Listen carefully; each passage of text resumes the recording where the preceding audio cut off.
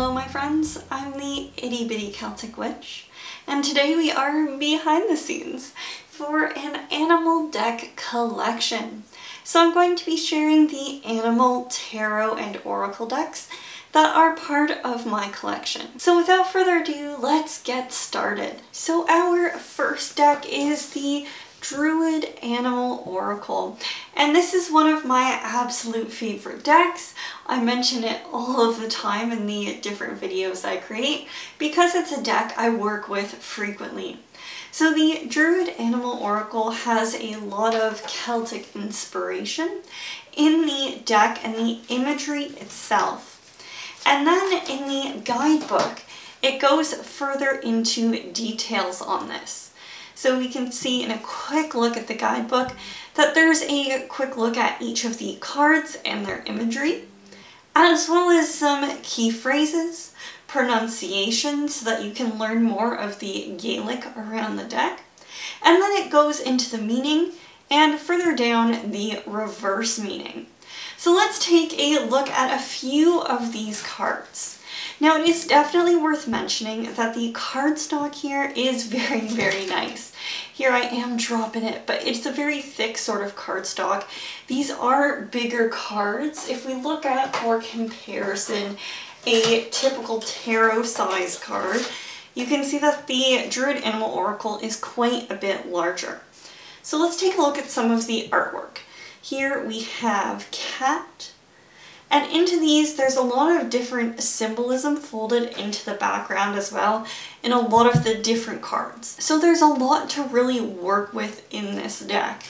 And the imagery is just simply beautiful. If you guys have watched a few of these videos before, then you'll know that Will Worthington, who is the artist of this deck in particular, is one of my favorite deck artist illustrations. I love all of his decks and they're all in my top favorites to work with. It's a very, very subtle, nice imagery. So here is a really good example with otter and what I was talking about, about different aspects in the background that are tied in as well. So in otter here we have salmon further in the river. So if you were looking at how salmon and otter intertwine in this card, we might meet wisdom from Celtic mythology in salmon, folded into the playfulness and the flexibility of otter to be at home on land and sea. And then we also have a harp carving as well, bringing in that musical inspiration and traditions around storytelling in Celtic culture. So there's a lot to really draw upon in these cards that complements the energy of the animals themselves quite beautifully. So that is the Druid Animal Oracle. Next up, we have the Animism Tarot, which I was using just a second ago as an example of a tarot size card for comparison. Now the Animism Tarot is an indie deck. It is absolutely stunning and it's one of my favorites. It's been part of my collection for several years now. I really love the backings on this card. I love how the moon meets the sun and there's that energy of cycles unfolding. So let's take a look at a couple of the cards. Right away we have the Queen of Pentacles standing so strong and confidently here. And then we have the five of, nope, that's the six of pentacles. I have to uh, take a closer look there. The six of pentacles here with crocodile or alligator, I'm not quite sure. And it's a really, really beautiful depiction. I love the use of color and the artistry here. It's got a lot of lovely deep purple and blue and aqua hues in the water. The Eight of Pentacles. I did shuffle this deck, but we're coming up all Pentacles. And here we have Beaver swimming around, and the Pentacles are incorporated into the imagery as well around the dam that Beaver is building. So hard at work there with the Eight of Pentacles. Then Four of Swords, see there are some other suits. The Four of Swords has Koala sleeping so contentedly, resting here. A really calming depiction of the Four of Swords. That is one thing which I really do enjoy working with animal decks for, is that tie-in to animal symbolism. And you can also have a lot of opportunity for folklore like we were looking at with the Druid Animal Oracle a minute ago. Judgment here, a very patient looking card very calm. I like the energy that the animals really bring to this deck.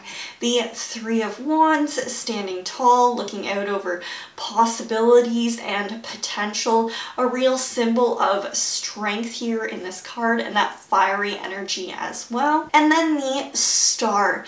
Isn't this a dreamy depiction of the star where we're looking out at this beautiful night sky, ties into the landscape.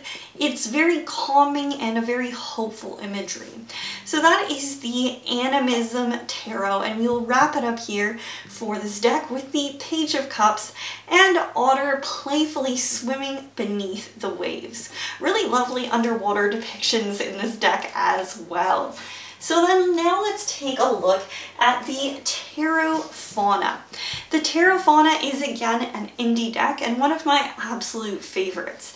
So this deck has a lot of really lovely animal imagery and it does tend to draw on particular animals. The suits are focused around one particular animal. Whereas when we were looking at the Animism Tarot, there's a variety of different animals incorporated into each of the tarot suits. With the Tarot Fauna, it centers around owls, for instance, or fox. So let's take a look at the cards. And the cardstock is so lovely. It has such a nice it has such a nice feel to it. So the Empress here, very, very serene, very calming imagery. So then we have the next card, which is the Eight of Feathers. And here we have Owl. And this is what I was just talking about a second ago with owls being the archetype of the feathers or traditional sword suit. Here we have the Eight of Swords, so owl being in that moment of patience and really thinking things out. Next up we have the three, no, that's the 10 of torches. I was looking at the camera and not at the card in front of me. The 10 of torches, and here we have Fox balancing all the torches. Now this is a really different depiction on the Ten of Wands. Usually with the Ten of Wands we see a lot of burdensome energy. This is slightly shifted here. While Fox definitely has more torches than they can carry, they're still persevering. They're still going on. We can see a lot of the dedication and motivation in Fox to carry these forward. So it's a really nice alternative depiction of the Ten of Wands traditional card. The tower here as well, I really like the imagery and the take on the tower as a forest fire because it really blends in how these sudden changes lead to new life sprouting up, which we can see in the actual soil in the half of the forest that has already been, been burnt through. So the tower is definitely a card which highlights a lot of upheaval and change, but it also in this depiction offers room for growth and opportunity from that change in that archetype. So let's take a look at a couple more cards. Oh, the Queen of Torches. This is one of my favorite cards. It's just so adorable. We see Mother Fox kissing little fox on the head and they're just hanging out in the meadow. It's a really, it's a really lovely, gentle, nurturing card. Very creative. And the Two of Rocks, here we have Bear carrying bear cubs on their back and traveling through the streams. So then the rock suit is bear archetypes, whereas we have foxes in the torch and then we had the owls for feathers. So a really, really lovely deck to work with. And we'll wrap it up here with the moon and this beautiful depiction of a moth flying up towards the moon in this nighttime sky as we sort of have the perspective of laying on the forest floor and looking up through the trees towards this full moon and this starry night sky. So that was the tarot fauna. Next up, we have the medicine cards. And the medicine cards, as you can see right away, we'll start off with the guidebook. The medicine cards has a very thick hardcover guidebook. There's a lot of extensive information on each of the cards. So this is a deck that is based on Native American traditions and it is created with a beautiful writing and interpretations and discussion of the different energy that each of the animals bring. So the Medicine Cards deck is a really wonderful deck to work with for learning more about these traditions. Now this deck is a bit of an older deck in the sense of publication dates. It was published, let me just go back to the guidebook for a second. I believe it was published in the 80s. Yeah, it was published first in 1988. So in terms of deck dates, this is definitely one of the older decks in my collection. So let's take a look at a couple of these wonderful cards. Such beautiful learning opportunities with this deck. So the one thing to mention right away with the cardstock of this deck is it is extremely bendy. It's a very, very bendy sort of deck to work with. So let's take a look at a couple of the cards. We have elk, then we have jaguar, dog, and there's quite a few cards in this deck. It is a very, very thick deck. There's a lot of different animals present in here, and there's a lot of information about each of the animals themselves. So it's a very deep, very extensive, comprehensive animal deck. Now let's take a look at a couple more cards. Mouse there, wild boar, frog, and swan. So that is the medicine cards deck. Now let's take a look at the Animal Totem Tarot. So the Animal Totem Tarot, I have it in its original box here, again has a very thick very thick hardy guidebook there. Has one of the little lifty things, I mentioned that in a previous video, and it's absolutely my favorite thing. When I find decks that have the little lifty thing, it makes me so happy. So this card stock is just traditional sort of everyday kind of mass market deck cardstock. It's it's absolutely fine and I'm cool with it. The Two of Wands here, we'll start off with Stingray. So there's a lot of information in here as well about the different animal energy. As you saw in the guidebook, there is a very thick guidebook. There's a lot written about each of the animals and different potential interpretations of the cards themselves. Now, sort of where it is similar to the animism tarot, which we are looking at, is that there isn't a single type of animal present throughout an entire suit. So each suit has multiple different types of animals present in it which is really interesting and nice because you also do get a lot of different interpretations. That being said, I absolutely love how the Tarot Fauna folds everything very flexibly in together with a single type of animal in each suit. So both I am absolutely a fan of. We have the Eight of Cups and salmon just jumping out of the river there makes me think of quite a bit of Celtic mythology. And here we have the cover art of the deck guidebook, the deck box rather, with the Magician and Fox. And next up we have Justice. So one thing to keep in mind with this deck in particular, the tower here, is that some of the images around the animals can be more challenging. So the main images I've shown here are some of the lighter cards, but when you do get into some of the darker meanings of the tarot archetypes and the more difficult ones to work with, there is that represented in the imagery of the animals as well and what they are experiencing. So it is something to be mindful of when you are picking out a deck if that's something that's going to prove challenging for you. But it really is a wonderful deck. This really messed with my mind at first because it looks like the ant should be this way, but it is not how it actually is. It is not the type of ant. And so the Hanged Man is upside down. So let's wrap it up here with our King of Wands looking very, very fierce out and about at the landscape with quite a bit of determination. I love the expression going on on the King of Wands face here. Next up, we have the Bird Messages Oracle, and this is absolutely a stunning deck to work with. So this has like a kind of fold away piece, and then you pop out the decking guidebook. So the guidebook, let's take a quick look at that first. We have a good chunk of information on each of the birds that are featured in this. So it is bird messages, so all of the animals in this deck are birds.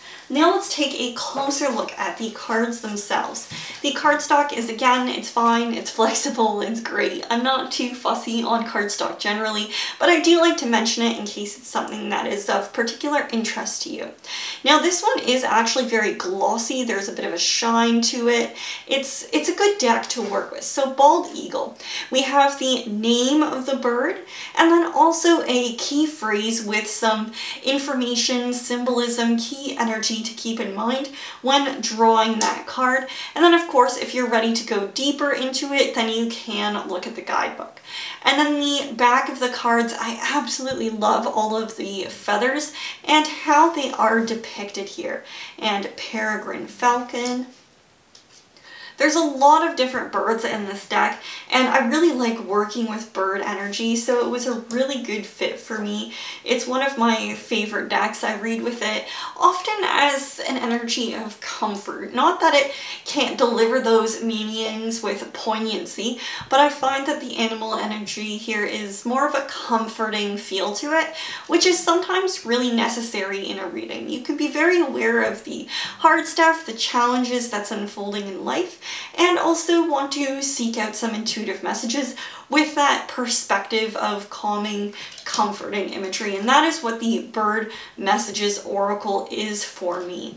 So a wonderful deck to work with to learn more about the different birds, about some of their symbolism, about some of their key phrases and key energies. And of course, I love Raven. I love ravens. I love crows. So just focusing and pausing on this card for a moment. But isn't that, isn't that color contrast beautiful? It makes me think of Samhain and that beautiful orange and black imagery we see when Raven is around so often. It's it's a great deck to work with. And there's Macaw, thinking laterally to solve a problem, having a different think about how to make his way through the solution. So next up is the Animal Spirits Knowledge cards. So these are very much focused on, on more of a learning experience. You can read with them as oracle cards, but I have personally found them to be more of an informational deck, which is fine. I love informational decks. I like learning. So here we have Tiger, and you can see that on the back of the deck, this is what I mean where it's more of an informational deck. So instead of having a plain back like the bird messages cards. You'd think I'd know where I just put them and they were hiding behind me. So see how the back here is completely blank? We just have feathers and artwork. That way you can sort of close your eyes or just not, not look at the imagery of the animal itself and allow the choice to be made that way. Here, if you're going to be using this as an oracle deck, you probably want to close your eyes because you're going to be picking up on these cards very mindfully. So there is Tiger and a lot of really really lovely imagery in this deck as well. There's a lot of different types of animals. I bought this deck several years ago, maybe maybe like seven or eight years ago and I actually used it primarily for its artwork because it was a very informational deck for me. Instead of drawing it as an oracle set of cards, I used it for that art, for that imagery, and tying that into my practice. So that is the Animal Spirits knowledge cards. And this one, I just have to pause here. I love this beautiful imagery here in this card. It is just a stunning depiction. So let's take a look at our next deck. And as there is deck chaos behind me, I do believe we are at the Wild Unknown Tarot. So this deck is sort of an animal deck. It doesn't focus on animals quite as predominantly as the other decks we have looked at, but there aren't a lot of people in this deck. This is very much an animal deck in that sense. Now there are some cards that are pip cards so they don't show any animal whatsoever, which is not the case with the first card we pulled out, the Four of Cups, and rats sneaking over the cups here. So there are a lot of animals present in this deck. Again, this deck can have some darker imagery around the animals that are incorporated into it, which is again just something to be mindful of. This is the pips card that I was mentioning earlier, where we have the Seven of Pentacles as just the pentacles depicted. There aren't any animals present in that card in particular. And yet when we go to our next card, we have Butterfly. So again, it's a bit of both. It ties in both animal imagery and Pip's imagery into the cards themselves.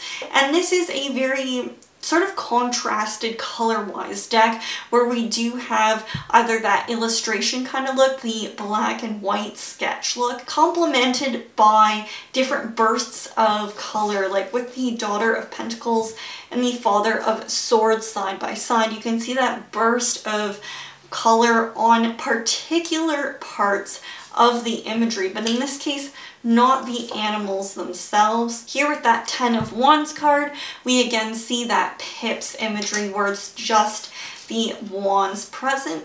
And then here we have a nature depiction. So there's no animals.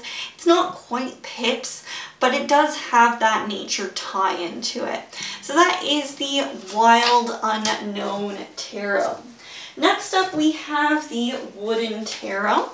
And the Wooden Tarot is another indie deck that is part of my collection. It is created by Skull Garden. And all of these details for the decks will be below in case you are interested in any of them.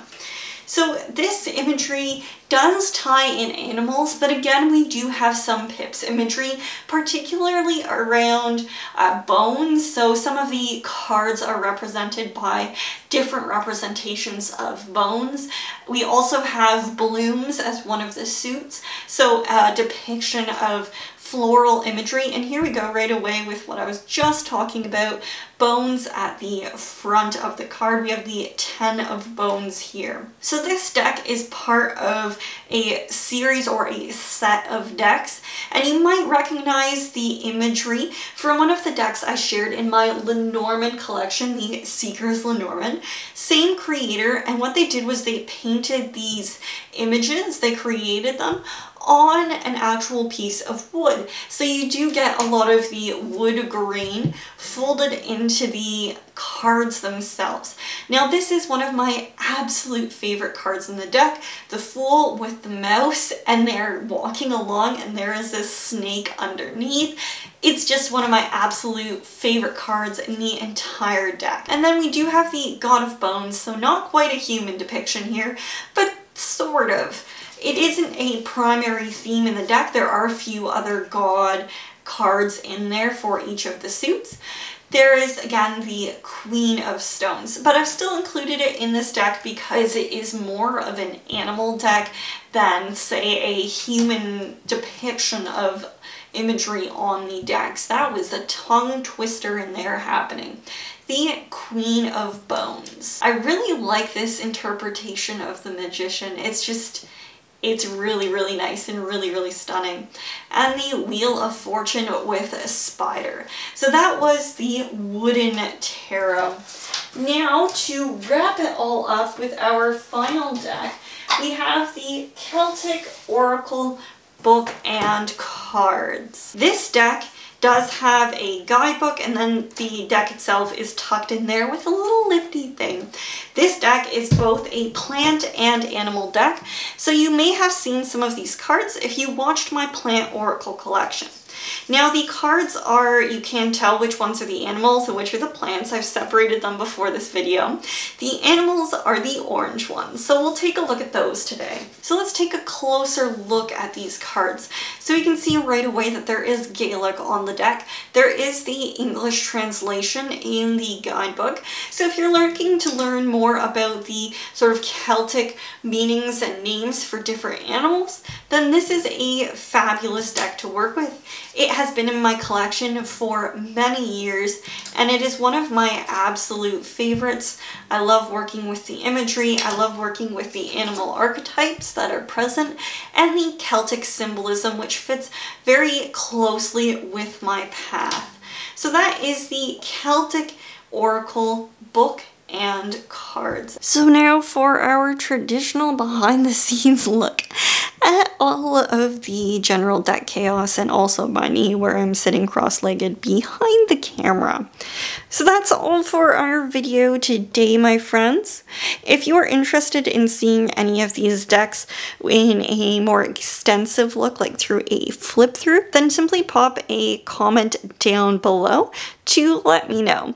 If you'd like to check out more videos like this, check out the tarot playlist where I feature the other collections where I show some of the different decks that inspire my path. If you enjoyed this video and you would like to see more, please do hit the subscribe button. And if you'd like to book a reading with me, then have a look at the Etsy links below for more details. Wishing you a most wonderful day, my friends, and so very many blessings.